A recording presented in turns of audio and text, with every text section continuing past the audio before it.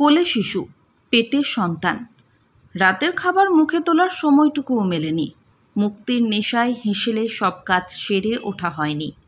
মাজেরা খাতুন কি পুরুষ? নামটা শুনে তো মনে হচ্ছে না। তবে পরনে মোটা পাজামা, পায়ে মোজা, শক্ত জুতো আর গায়ে মোটা কোট কেন? মাথায় যে পাকড়ি দেখছি হ্যাঁ ঠিকই ধরেছেন মাজেরা নারী। ইংরেজ সরকারের অত্যাচারের হাত থেকে দেশকে রক্ষা করার জন্য পুরুষের মতো এমন বেশ ধারণ করে হঠাৎ আক্রমণ চালাতেন। মাথায় চুল থেকে তার উপর পাকড়ি পরতেন।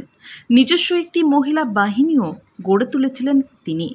কিন্তু মাজেরার চালাকি দুর্ধর্ষ ইংরেজ শক্তি একদিন ধরে ফেলল। শুরু হলো দুই পক্ষের প্রচণ্ড লড়াই। মাজেরার বাহিনী পরাজিত হলো। মাজেরা ও তার মহিলা সঙ্গীরা শহীদ হলেন। কিন্তু মাজেরা নয়, পুরুষ বেশধারী বহু মহিলাকে পুলিশ গ্রেপ্তার করে পাশবিক অত্যাচার চালালো। কিন্তু অবাক হওয়ার কথা হলো, শহীদ বা আটক হওয়ার আগে পর্যন্ত ইংরেজ সরকার বুঝতেই পারেননি যে এরা মহিলা না পুরুষ। মাজেরা লড়াইয়ের শহীদ হয়েছেন। কিছু জামিলা খাতুনের ভাগ্যে তখনও তা জোটেনি। অরুণা আসাফ আলী স্বাধীনতা সংগ্রামের একটি প্রখ্যাত নাম। জন্মসূত্রে তিনি অরুণা গাঙ্গুলি নামে পরিচিত।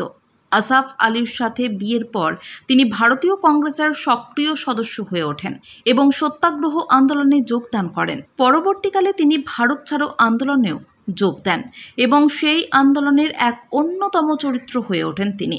উনিশশো বত্রিশ সালে সরকার বিরোধী কাজের জন্য তাকে তিহার জেলে পাঠানো হয়। সেখানে রাজনৈতিক বন্দীদের সঙ্গে ভিন্ন ব্যবহার বন্ধ করার উদ্দেশ্যে তিনি অনশন শুরু করেন। তার উদ্দেশ্য সফল হলে খুব শীঘ্রই তাকে নির্জন কারাবাসের জন্য আম্বালা পাঠানো হয়। আঠারোশো সাতান্নর মহাবিদ্রোর সময় বহু মুসলিমকে তখন ফাঁসিতে ঝোলানো হয়েছিল। তখন ব্রিটিশ ক্যান্টনমেন্টে একসঙ্গে অনেক ইংরেজ সৈন্যকে খতম করার পরিকল্পনা নিয়েছিল জামিলা। কি সেই পরিকল্পনা? সৈন্যদের খাবার তৈরির সময় তাতে তীব্র বিষ মিশিয়ে দেওয়া। কিন্তু ধরা পড়ে গেলেন। প্ল্যান নস্বাত হয়ে গেল, পুলিশ তাকে গ্রেপ্তার করল। চলল অকথ্য নির্যাতন। অবশেষে ফাঁসি দিয়ে এই বীর মহিলার আন্দোলনের স্পৃহাকে দমন করা হয়েছিল।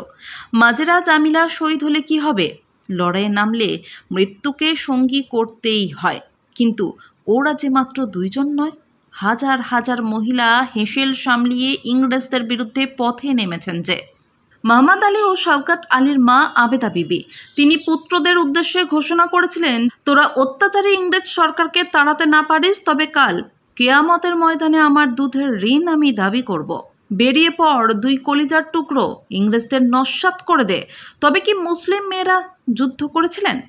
বোরখা, মোল্লা, মৌলবিদদের বাঁধা তাহলে কি হলো? না, এটা কোনো সমস্যাই নয়। বর্তমানে বোরকা পরে, হিজাব পরে, ইরান, মিশর, লেবাননের মেয়েরা যেভাবে স্বাধীনতার জন্য লড়াই করে স্বৈর শাসকের ক্ষমতাচ্যুত করেছিল, তেমনি পরাধীন ভারতে মুসলিম মহিলারাও দিনরাত পুরুষদের মতোই ব্রিটিশদের বিপক্ষে জীবন মরণ সংগ্রামে অবতীর্ণ হয়েছিলেন।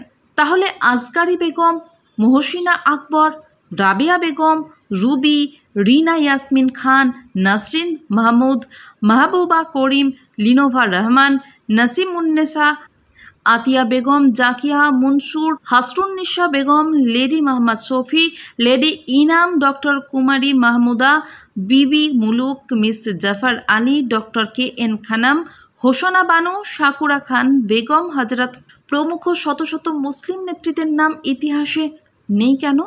এ নিয়ে বিতর্ক অনেক। যেখানে হাজার হাজার মুসলিম পুরুষ বিপ্লবীদের নাম লেখা থাকে না, সেখানে আবার মহিলাদের নাম।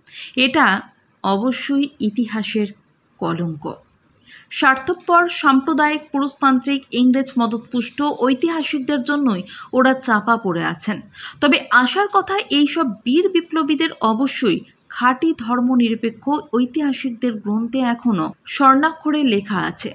আর আছে বলি সভ্যতা চলছে।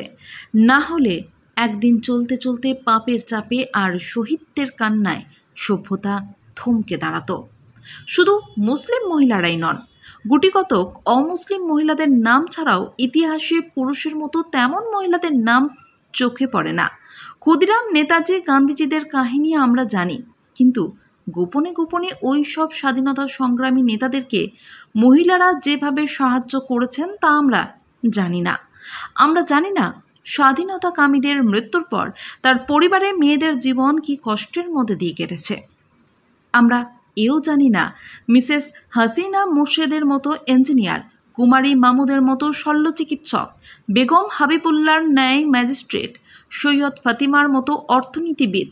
মুম্বাই জাদার মতো লেখিকা ও পত্রিকার সম্পাদিকা খাদিমা বেগমের ন্যায়। লন্ডনে ডিগ্রিপ্রাপ্ত ও আটটি ভাষার পণ্ডিত। সুগার হুমায়ুনের মতো প্রখ্যাত সাংবাদিক হাজার হাজার মহিলাদের যোগ্যতা থাকা সত্ত্বেও। ইংরেজ সরকারের বিরুদ্ধে লড়তে গিয়ে তাদের কেরিয়ারকে কীভাবে তিলে তিলে শেষ করে দিয়েছেন? পুরুষতান্ত্রিক নীতি বিসর্জিত সমাজ মহিলা স্বাধীনতা সংগ্রামী মর্যাদা না দিলেও দৌলাতুন্নেশার জেল খাটা কাহিনী, চব্বিশ পরগনার জেল খাটা মহিলা হোসেনানার আন্দোলন আজকের বেগমের ইংরেজদের হাতে জীবন্ত দগ্ধ হওয়ার ঘটনা, আজিজুল বায়ের গুলি খাওয়ার ইতিহাস, বীরাঙ্গনা হজরত মহলের মিস্টার নীল ও ক্যাপ্টেন চাপকে হত্যা করার রণকৌশল, নুরুন্নেশার গুপ্তচর বৃত্তির রোমাঞ্চকর কাহিনী আগামী দিনে ভারত ও বিশ্বের ইতিহাসে স্বর্ণাক্ষরে লেখা থাকবে। আর বর্তমান নারী সমাজ পাবে অন্যায়ের বিরুদ্ধে লড়াই করার মন্ত্র। দেশ মুক্তির এই মাসে চর্চার আড়ালে থাকা স্বাধীনতা সংগ্রামী মুসলিম বীরাঙ্গনাদের প্রতি একটু শ্রদ্ধা জানানো প্রতিটা নাগরিকের স্বাভাবিক দায়িত্বের মধ্যেই পড়ে। মোক্তার হোসেন মণ্ডলের রিপোর্ট টিডিএন বাংলা।